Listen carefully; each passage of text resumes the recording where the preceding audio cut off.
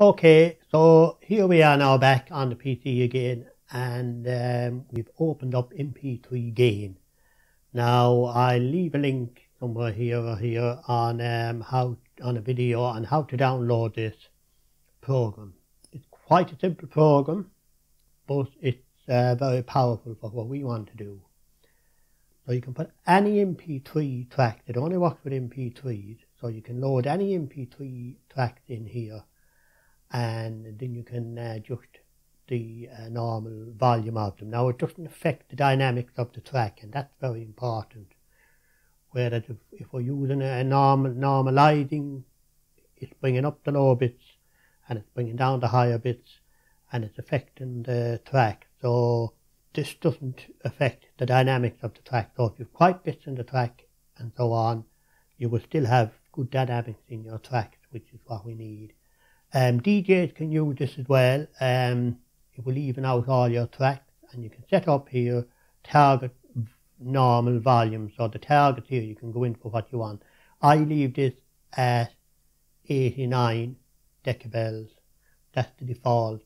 Fine for me for tracks. Now you can set this if you're doing, we'll say DJ and you want to set it up, you could go 95 or whatever. And then as you're playing your DJ set, you won't have one track a lot louder than the other and, and it's a lot easier to manage. So we can add files individually and we can add files by folder. So we're going to add the files by folder.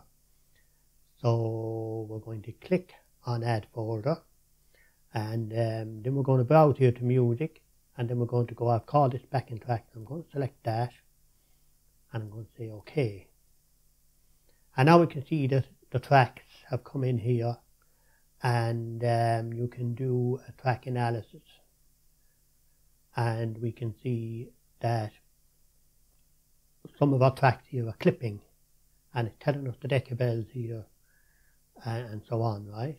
And we can fix this now. So all these red tracks here are clipping and we've also got a, a different range of volumes. Um, so then we click on track gain. Now this will run through here again. And you see now it's fixing them.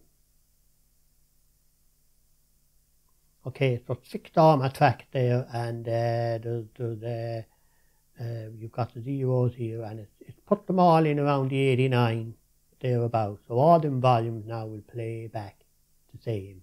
And there's no clipping in the tracks and no matter how much volume we put on them through a PA, them track, tracks will always be fine.